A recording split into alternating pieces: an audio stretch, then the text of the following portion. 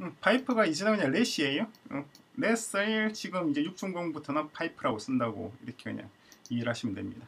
렛이 무슨 역할을 하는지는 이 설명들이 쭉 나와 있는데 이번에는 더 JavaScript로 표현되어 있어요. TypeScript가 아니라 어 그래서 일단 TypeScript로 표현되어 있는 예제들이 또 있으니까 그걸 같이 보면서 음, 살펴보도록 하겠습니다. 지금 보고 있는 화면은 learn rxjs io의 learn rxjs입니다. 제일 첫 번째 operator 중에서 어, combination 파트부터 쭉 보죠. operator 종류가 뭐가 있나요? 보면은 이렇게 여러 가지 combination 관련되는 것들 있고 conditional creation, error handling, filtering, multicasting, transformation 그리고 utility 이게 다예요? 예, 전부 다예요. 그래서 어떤 operator들이 쭉 있는지 하나씩 하나씩 그 특성에 따라서 살펴보도록 하겠습니다. 제일 먼저 볼게 combination 파트. combination은 요 몇 개예요? 둘, 넷, 여섯, 여덟, 열, 열두 개. 첫 번째가. combine all부터 볼까요? 이 지금부터는 TypeScript 형식으로 표현되어 있습니다. 음, 그래서 보면은 이렇게 all 해서 어, function이 argument로 주어지고 project function project function이 뭔지 음, 음, 보도록 하죠. 이 project는 그냥 뭐 parameter 이름을 project로 붙여놓은 건데 왜 project라고 이름 붙여놨는지 그걸 우리가 좀 이해를 해야 돼요. 그리고 리턴되는 건 Observable입니다. 그죠? combine all combine all이 어떤 역할을 하고 있는지를 보려면은 음, 볼까요? 아 지금 수업 번 여기는 안 나와 있구나. 지금 중급 4년차 수업입니다. 지금 공부하고 있는 거는 combine all 그러면은 이미지. 이렇게 이미지가 나와 있는데 A1, A2, B2 이렇게 돼 있는데 뭐 이렇게 봐가지고는 무슨 말인지 잘 몰라요 그림이. 어, 그래서 RX Marble 있죠? RX 마블 RxJS 마블 인텍티브 다이어그램입니다. 그죠? 여기에 combine all이 있나요? combine latest가 있네요. combine all은 안 보이네요 음. combine latest는 좀 있으면 나옵니다만 이걸 통해서 이렇게 볼 수 있어요. interactive하게 이렇게 구성되어 있습니다. 그래서 어떻게 바뀌는지 그걸 볼 수가 있어요. 자, combine latest는 좀 이따 보도록 하고 일단 combine all부터 보죠. combine all. 뭐 combine latest와 비슷하게 되는데 어, 뭐 combine latest와 combine all의 차이점을 combine all부터 보고 다음 이어서 combine latest를 보는 걸 할게요. example이 나와 있습니다. example이 어디 있느냐니까 이런 식으로 이제 조금 전에 우리가 봤던 거 let 같은 경우는 어떻게 됐었나요? 렛의 경우에는 JS Bin은 있었죠. let 어디 갔나? let 여기 있네. utility. 요 보면은 요 소스 코드를 보는 것이 JSB인 JSP달이었단 말이에요. 이게 RX 버전 5 이전에는 다 이렇게 했어요. 그런데 지금은 이제 어 이제 새로 이 RX6부터는 음, TypeScript를 기본으로 쓰고 있습니다. 그러니까 example도 이렇게 TypeScript를 볼수 있게 됐는데 StackBlitz로서 열어볼 수가 있어요. StackBlitz가 상당히 중요합니다. 이게 굉장히 중요해요. 왜 중요하냐니까 우리 오픈에시 플랫폼의 코딩 환경을 지금 StackBlitz로 구성하려고 하고 있어요. StackBlitz는 VS 코드, VS 코드를 어, 웹으로 옮겨놓은 겁니다. 아 얼마나 멋집니까? 그렇죠? 정말 멋지죠. VS Code도 멋진데 그걸 웹으로 옮겨놓은 거예요. 오픈 소스니까 그렇게 가능하죠. 그래서 어, StackBlitz를 쓰게 될 텐데 일단 어, 지금 이 소스 코드를 웹을 돌리고 있는 중입니다. 지금 열심히 돌아가고 있죠. combine all 해서 보면은 어, interval source interval pipe 이 pipe가 나오죠. pipe에서 take 2 해서 하나의 stream과 두 개의 stream을 합치해 주는 것이 pipe입니다. 그래서 테이크 2는 뭐예요? 두 개를 갖는다는 거예요. 테이크는 또 여기 나와 있으니까 좀 이따 또 살펴볼 거예요. 테이크 테이크가 어딘가 있겠죠. 이 밑에 어디 있습니다. 아 그래서 두 개를 갖는다. 하나를 갖는다. 일단 1을 갖는 걸 해보죠. 1을 갖게 되면은 인터벌 1, 2, 셋, 넷, 다섯 개 끝이에요. 그죠? 그러니까 이게 지금 console log 되고 있는 것이 여기 console log 하고 있는 거고 저 컨바인드와 컨바인드 X 서브스크라이브 하고 있는데 combined는 이거예요. 어, 파이프 example을 combine all한 겁니다. 여기서 combine all을 쓰고 있는 거고 example은 뭐예요? example은 위에 있는 요게 example입니다. 그래서 소스 파이프 해서 어, 소스가 있고 소스가 여기 있죠. 있고 그걸 다시 파이프에서 map해서 interval 1초에다가 다시 또 파이프를 또 줬어요. 그래서 파이프가 여러 개 있어가지고 뭐가 좀 헷갈리는 것 같은데 그럴 거 없어요. 그냥 두 개 stream을 합쳐놓은 겁니다. 그죠? 이게 stream이고 이 stream 각각을 stream으로 만들어 놓은 거예요. stream of stream이죠. 그러니까 어, 이걸 어떻게 썼나요? 이걸 소스 같은 경우 stream이니까 이렇게 표현해주고 이거는 이거는 이렇게 표현해주고 그죠? 그리고 이거는 stream의 stream이니까 더블 이렇게 놓으면 훨씬 더 보기가 좋겠죠. 그죠? 그런데 이렇게 하면 또 다 바꿔줘야 되니까 일단은 이렇게만 해놓을게요. 자 그래서 어, 이 stream of stream stream의 stream 우리가 Cycle하면서 몇 번 봤죠. 그래서 보시면은 0, 1 두 개가 나옵니다. 그래서 0, 1 두 개 넣는데 지금 아니죠. 하나만 넣었죠. 지금 0만 넣어죠. 0만 넣고 0에 대해서 0 stream이 만들어지고 있는 거예요. 땅땅 이렇게 다, 다섯 개 stream 만들어주는 게 이거예요. 그죠? 0이 한 번 튀어나온 이거고 이걸 take 2 하면 0과 1이 나오겠죠? 그럼 0과 1 해서 stream이 두 개가 만들어지겠죠. 두 개를 합치게 되면 어떻게 되나요? 그러면 다섯 개 다섯 개 합해서 10개가 나오게 되죠. 둘, 넷, 여섯, 여덟, 아홉 개네. 음, 아홉 개 나온 게 맞나? 음, 맞을 것도 같네요. 예. 요거는 어떤 원리냐니까 이렇게 됩니다. 보시면은 먼저 stream 다섯 개가 이렇게 쪼름이 나오는 거예요. 아, stream 두 개가 이렇게 나오는 거죠. 두 개가 나오는데 하나 나오고 또 stream 하나가 또 나와요. 좀 이왕이면 예쁘게 제가 좀 미적으로 좀 민감하잖아요. 예쁘게 하는 거 좋아하죠. 이렇게 하니까 좀 예쁘네. 자, 첫 번째 stream에서 어, 두개 take 2 했으니까 하나, 둘 시간이 흘러가는 게 이렇게 되는 거예요. 시간의 흐름의 방향입니다. 시간 흐름의 방향, time. 이걸 적어 놓을까요? time이 아래쪽으로 흐르고 있다. 아래쪽 화살표를 지금 만들 방법이 없네요. 있다고 가정하고 넘어갑시다. 자 그러면은 이것 자체가 stream이 되고 자체가 stream이 되죠. 그래서 여기서부터 stream이 하나 하나 둘셋넷 다섯 개 이렇게 나오는 거잖아요. 그죠? 마찬가지로 이번에 오렌지 색깔로 딱 넣어줄게. 다섯 개. 그리고 여기도 또 다섯 개가 딱 나오는 거죠. 처음에 하나만 딱 넣고, 그죠? 다음에 combine all 해서 두 개가 나오고, 두 개가 나오고, 두 개가 나오고, 두 개가 나오고, 여기서 끝나버렸잖아요?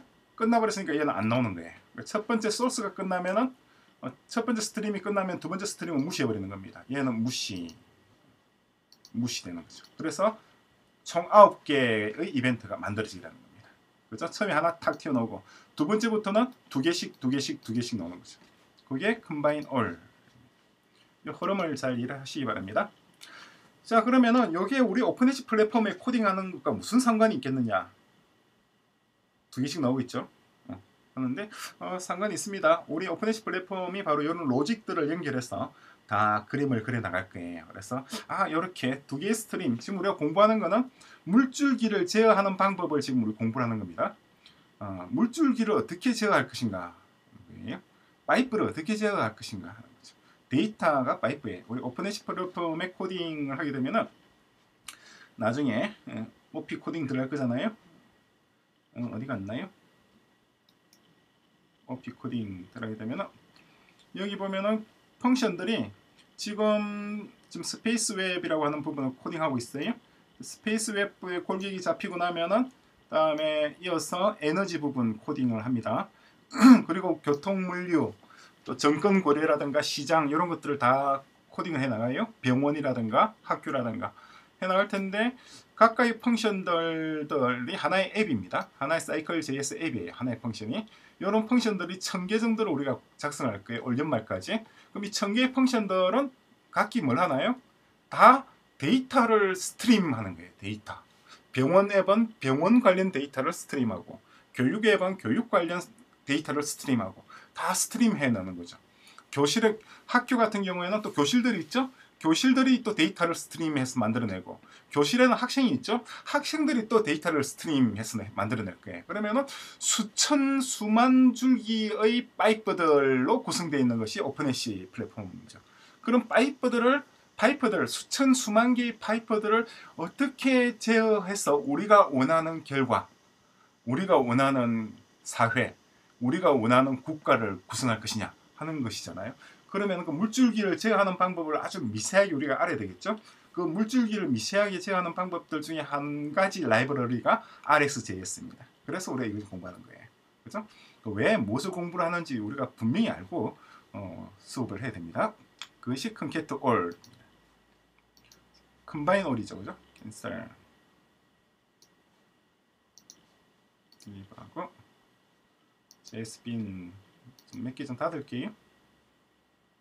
음, 요것도 또 있는데 어, 요거 요것도 상당히 또 좋습니다. 요거 나중에 또 볼 거예요. 그 RxJS에서 공부할 게 좀 많아요. 어, 근데 많아도 상당히 재밌으니까 어, 같이 쭉 봐나갈 겁니다. 자, 두 번째를 볼까요? 두 번째는 combineAll 다음에 어, combineLatest입니다. combineLatest는 이건 또 뭔가 보죠. 레스트에서 어, 이 signature를 보죠. signature function은 signature는 function이 어떻게 생겼는지 그 모양을 미리 규정해 놓은 틀입니다. 그래서 얘는 이렇게 생긴 아이예요 이렇게 보여주는 게 예, signature죠.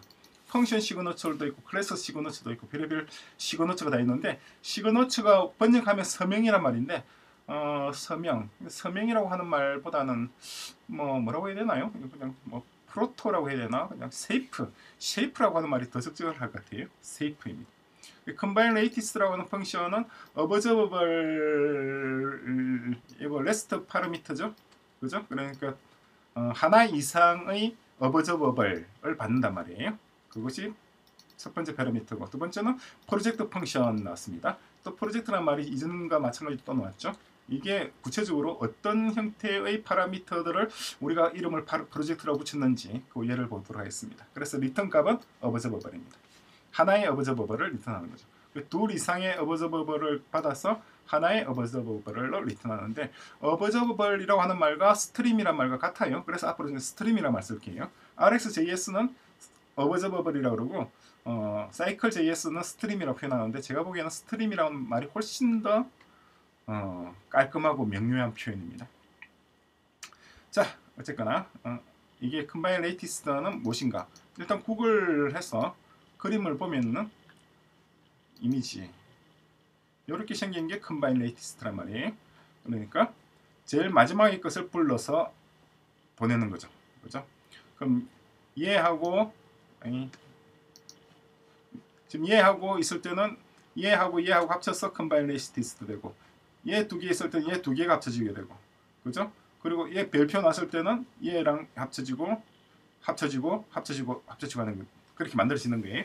그런데 일단 어, 예제를 보면서 하는 것이 낫겠네. 여기서 보면 combine latest 이거예요. 그런데 자 1a가 됐습니다. 모양이 만들어졌죠. a가 앞으로 당겨 오면은 1이 좀 뒤로 가더라도 역시 1a 그죠? 이렇게 되더라도 1a 즉 어, 두 개의 stream 중에서 어, 전후 관계는 중요하지 않단 말입니다. 그죠? 얘가 먼저 시작되던 얘가 먼저 시작되던 어떤 stream이 먼저 되던 상관없이 가장 마지막의 시점 지금 현재 마지막 시점이 이 시점이잖아요? 1A가 되는 거죠. 근데 또 중, 또한 중요한 것이 뭐냐니까 1만 있어 가지고는 뭐가 안 나온다는 거죠. A만 있어도 뭐가 안 나온다는 거예요. 두 개가 반드시 있어야지 이게 나온다는 겁니다 그죠? 그래서 1A 만들어지고 그리고 그 다음에 2가 먼저 B보다 먼저 나왔죠. 그럼 2와 A가 뭉쳐지게 돼서 2A가 나오고 만약에 2가 B 뒤에 오게 되면 어떻게 되나요? 그러면은 1A 다음에 B가 나왔죠. 그 1B가 만들어지게 되고 다음에 2B가 만들어지게 되죠. 이렇게 되는 겁니다. 차이점. 그죠? 이 상당히 중요합니다. 왜 중요하냐니까 이 지금 두 개 스트림의 차이 위치에 따라서 2A, 2B가 보면은 1B, 2B가 됐잖아요. 그죠? 그냥 달라지는 게 아니라 내용이 달라져요. 지금 현재 2A잖아요. 2A인데 여기에 B 뒤로 가게 되면은 2B가 됐죠. 그죠? 그것도 아주 미묘합니다. 그래서 C, 2하고 C가 합쳐지게 되고 D, 2하고 D가 합쳐지게 되고 3과 D 합쳐지게 되고 3이 여기 오게 되면 3과 C가 합쳐지게 되고 그죠? 그게 combine latest 이거 마찬가지 스택 브릿지 나와 있죠. 스택 브릿지 돌려보면 스택 브릿지는 타입스크립트입니다. 그죠? TypeScript고 어, JSB인 JSP들은 JS JavaScript예요. 이렇게 타이머 땅땅땅 땅땅 이렇게 나오는 겁니다. 그래서 타이머 타이머 1, 타이머 2, 타이머 3 세 개가 있죠. 세 개 있고 얘는 첫 번째 1초 뒤 1초 뒤에 시작 처음에는 시작하는 시점이고 이거는 인터벌이에요. 간격입니다. argument가 두 개가 있을 경우 처음에는 시작하는 시점이 1초 뒤에 시작하란 말이고 이거는 간격을 이렇게 하란 말입니다. 이건 마찬가지 2초 뒤에 시작하란 말이고 간격이 4천을 말입니다. 만약 간격이라고 하는 말 4천이 없으면 어떻게 되나요? 이게 빠져버렸다. 그러면 시작하는 시점도 2초 뒤고 인터벌도 2초 뒤가 됩니다. 이해되시죠? 그리고 3초 뒤 시작하고 3초 뒤부터 간격은 4천. 그죠? 이게 4천이 없다. 그러면 3초 뒤 시작하고 간격도 3천이 되는 거예요. 그렇죠? 자, combineLatest에서 요놈, 요놈, 요놈 세 개를 합친 겁니다. combined 된 거죠. combined에다 subscribe 한 다음에 그거 받아서 이것을 이렇게 나타내는 것이 요겁니다. 그죠?